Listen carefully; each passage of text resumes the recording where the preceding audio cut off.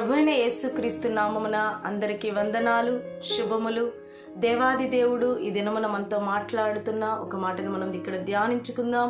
కీర్తనల గ్రంథము ముప్పై ఒకటవ అధ్యాయము ఒకటవ వచనం మనం చదువుకున్నట్లయితే యహోవా నీ శరణుజొచ్చి ఉన్నాను నన్నెన్నడును సిగ్గుపడనీయకుము. నీ నీతిని బట్టి నన్ను రక్షింపుము. హలెలుయా దేవునికి మహిమ కలుగునుగాక మరి దావీదు భక్తుడు రాసినటువంటి కీర్తన మనం ఇక్కడ ధ్యానించుకుంటున్నాం. మరి దావీదు అంతరంగము ఎలా ఉంది అంటే మరి దేవుణ్ణి ఆశ్రయించిన అనుభవం దేవుని పైన ఆధారపడిన అనుభవాన్ని మనం ఇక్కడ గమనిస్తున్నాం. మరి దేవుడే ఆధారము. అయ్యా నీవే నాకు తోడు అని ఆయన పాదాల చెంత మరి వేచి ఉండే అనుభవం. మరి దావీదు జీవితంలో మనం చూస్తున్నాం. మరి భక్తుడుగా భక్తురాలుగా ఉంటున్న మన జీవితంలో కూడా ఇలాంటి అనుభవం కావాలని దేవుడు ఆశపడుతున్నారు. మరి దేవుణ్ణి ఆశ్రయించే అనుభవం ఉందా? దేవుని పైన ఆనుకునే అనుభవం ఉందా? ఉన్నప్పుడు మన జీవితం ఎలా ఉంటుంది అంటే ఇక్కడ రాయబడి ఉంది నన్నెన్నడూ సిగ్గుపరచకము. హలిలుయ మరి ఎప్పుడైతే దేవుణ్ణి ఆశ్రయించే అనుభవం ఉందో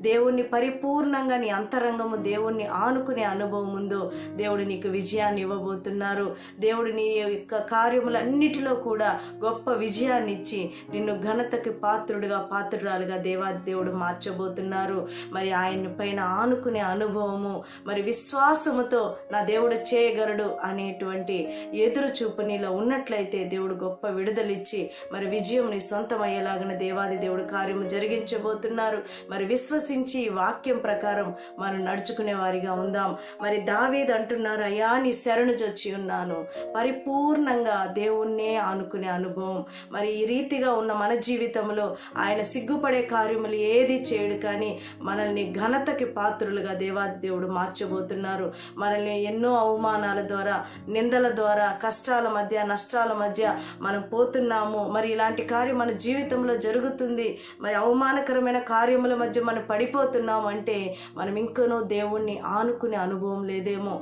మనల్ని మనం సరిచేసుకుందాం. సహోదరి సహోదరుడా మరి వాక్యం వింటుండగానే మరి దావీదు ఆధారపడిన రీతిగా దేవుణ్ణి పైన ఆనుకున్న రీతిగా నీవు ఉంటున్నావా? మరి లేదా నీ జ్ఞానం చొప్పున వెళ్తున్నావా? మరి మన జ్ఞానం చొప్పున వెళితే మరి అన్నిటిలో అపజయమే మరి సిగ్గుపడే కార్యములే అన్నిటి నిందలు అవమానాలు ఇవన్నీ మన జీవితంలో జరుగుతాయి. మరి దేవుణ్ణి ఆశ్రయించినట్లయితే దేవుని పాదాల చెంత మనం ఎదురు చూసే అనుభవం ఉన్నట్లయితే అన్నిటిలో గొప్ప విజయాన్ని దేవుడు ఇవ్వబోతున్నారు. మనం ఏ పరిస్థితుల మధ్య కూడా సిగ్గుపడే రీతిగా దేవుడు మనల్ని చేయడు కానీ మనల్ని ఆశీర్వాదంలోనికి పాత్రలుగా మార్చి ఆయన సాక్షులుగా నిలబెట్టబోతున్నారు. హలెలుయ దేవునికి మహిమ కలుగునుగాక.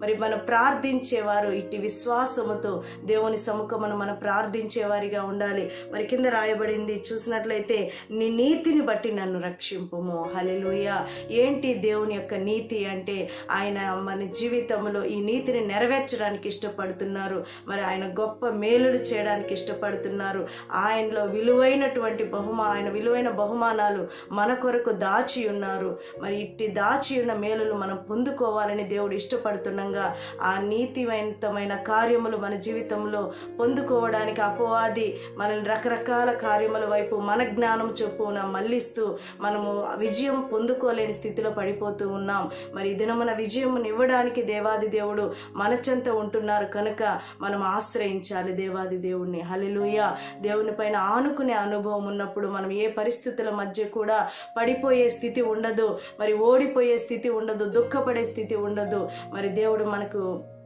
విజయాన్ని ఇవ్వడానికి ఇష్టపడుతున్నారు. హలెలుయ మరి ఒకటి రాజుల గ్రంథము పద్దెనిమిదవ అధ్యాయంలో మనం చూసినట్లయితే మరి ఏలియా ఇస్రాయేలీల ప్రవక్తగా ఉంటున్నారు. మరొక వైపు బయలు ప్రవక్తలు ఉంటున్నారు. మరి బయలు ప్రవక్తలు నాలుగు వందల యాభై మంది ఉంటుండగా వారందరి ఎదుట ఏలియా ఒక్కడే ఇస్రాయేలీల ప్రవక్తగా నిలబడి ఉన్నారు. మరి వీళ్ళందరూ నీవు అనుసరించే దేవుడు గొప్పవాడా అని అన్నప్పుడు మరి మీ రీతిగా బలిపీఠమును పేర్చండి. మరి ఆ బలిపీఠం పైన అగ్ని దిగి వచ్చేంత వరకు ప్రార్థించండి. మరి ఏ బలిపీఠం అయితే అగ్నితో మరి కాల్చబడుతుందో మరి వారి దేవుడే నిజమైన దేవుడు అని పలికినప్పుడు మరి ఇస్రాయేలీల పక్షమున ఉన్నటువంటి ప్రవక్త ఎవరు అంటే ఏలియా ఒక్కడే. మరొక వైపు ఉన్నటువంటి వారు బయలు ప్రవక్తలు ఎంతమంది అంటే నాలుగు వందల యాభై మంది. మరి ఇంకా అనేక మంది కూడా వారి పక్షమున నిలబడి ఉన్నారు. మరి వీళ్ళందరూ ఈ రీతిగా ఉదయం నుంచి సాయంత్రం వరకు మరి అస్తమయం వరకు ఈ రీతిగా ప్రార్థిస్తున్నారు. మరి నీతిని అనుసరించక వాళ్ళు అనుకున్నదే నీతి అనుకొని వాళ్ళు నమ్మినదే నీతి అనుకొని మరి బయలు ప్రవక్తలు మరి రీతిగా ప్రార్థిస్తూ ఉన్నారు. ఉదయం మొదలుకొని అస్తమయము వరకు ప్రార్థిస్తూనే ఉన్నారు. వాళ్ళ దేవ వాళ్ళ యొక్క ఆచారము చొప్పున వారి శరీరాలు గాయపరుచుకుంటూ మరి వాళ్ళు నమ్మినటువంటి నీతిని మొక్కుతూనే ఉన్నారు కానీ ప్రార్థిస్తూనే ఉన్నారు కానీ అక్కడ అగ్ని దిగి రాలేదు. ఆ బలిపీఠము కాల్చబడలేదు. హలెలుయ మరి ఇక ఏలియా అంటున్నారు ప్రభువా నేనొక్కడినే నిలబడి ఉన్నాను. ఇస్రాయేలీల ప్రవక్తగా నేనొక్కడినే నిలబడి ఉన్నాను. మరి చూస్తున్న వీరందరి హృదయాలు మీ వైపు త్రిప్పబడాలి. మరి బ- పరలోకము నుండి అగ్ని దిగి రావాలని ప్రార్థించినప్పుడు మరి తను ప్రార్థిస్తుండగానే అక్కడ బలిపీఠము పేర్చబడినటువంటి మరి దహన బలి పశువుని మరి అక్కడ కట్టెలను పేర్చబడిన బలిపీఠం పైన మరి ఏహో అగ్ని దిగి వచ్చినట్లు మనం చూస్తున్నాం. ఆ బలిపీఠము కాల్చబడినట్లు మనం చూస్తున్నాం.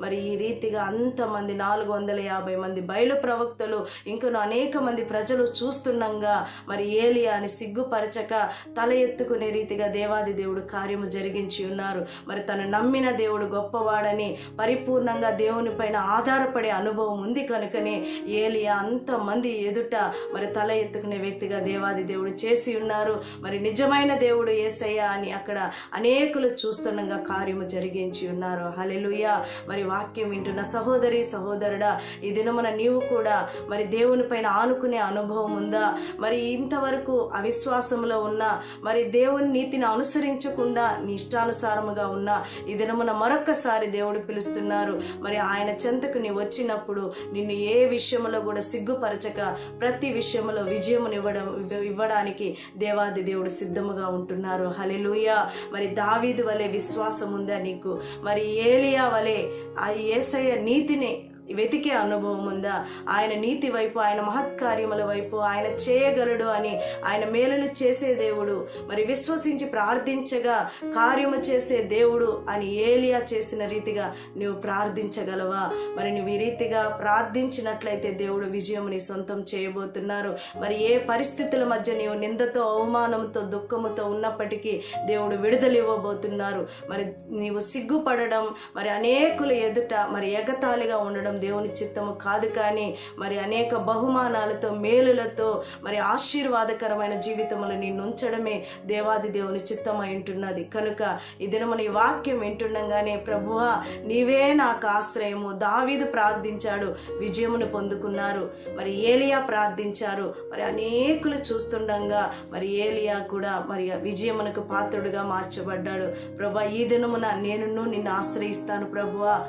అని విశ్వాసంతో నువ్వు తీర్మానం చేసుకున్నట్లయితే ప్రార్థన చేసుకుందాం. మరి ప్రభా నేను నిన్నే ఆధార్ నీపైనే ఆధారపడతాను ప్రభా. నీవే నాకు ఆధారం నీకే నీవే నాకు ఆశ్రయం అని నీ విశ్వసించినట్లయితే ఈ వాక్యముని అంతర్గతంగా మరి ఫలింపు జరగబోతుందని నీ విశ్వసించినట్లయితే విన్న వాక్యము దేవుడు నాతో మాట్లాడుతున్నారు అని నీకు నమ్మకం ఉన్నట్లయితే మరి విశ్వసించి ప్రార్థన చేసుకుందాం. దేవుడు గొప్ప కార్యములు చేయబోతున్నారు. హలెలూయ ప్రార్థన చేసుకుందాం. విన్న వాక్యమును బట్టి మనం ప్రార్థన చేసుకుందాం.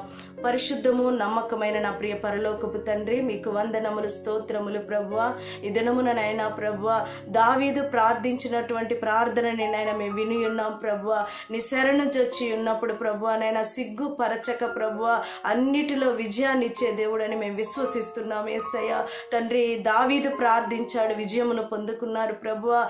ఏలియా ప్రార్థించాడు ప్రభు నైనా అనేకులు ఎదుట తన గొప్ప సాక్షి సాక్షిగా మీరు నిలబెట్టి ఉన్నారు ప్రభు నైనా ఈ దినమున మేమును ప్రార్థిస్తున్నాము నైనా వాక్యం వింటున్న ప్రతి ఒక్క బిడ్డ కూడా ప్రభువ నా తండ్రి ఏ విషయంలో దుఃఖపడుతూ వేదనతో అవమానముతో నిందతో ఉంటున్నారు ప్రభు వాటన్నిటిని ఏసు నామమున లయపరచండి ప్రభు మీ బిడ్డలకి నా మీ బిడ్డలందరినీ ప్రభు విజయమునకు పాత్రులుగా మార్చండి. ఆశీర్వాదములు వీరికి దయచేయమని ఏ పరిస్థితుల మధ్య పడి ఉన్న వీరిని లేవనెత్తి బలపరిచి ఈ దినము నుంచి నేను మిమ్మల్ని ఆశ్రయించే అనుభవంలోనికి అందరినీ నడిపించుమని ఆశీర్వదించుమని ఏసయ్య నామం అడిగి వేడుకొనుచున్నాము తండ్రి. ఆమెన్. ఆమెన్. ఆమెన్.